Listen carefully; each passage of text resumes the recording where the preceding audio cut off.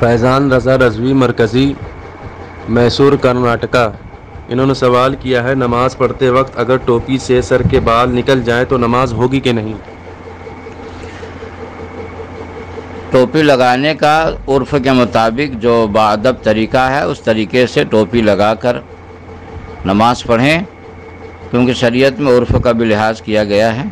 उसके बाद अगर बाल सजदा की वजह से टोपी मसलन पीछे खिसक गई और बाल निकल गए तो इससे नमाज़ पर कोई असर नहीं पड़ता।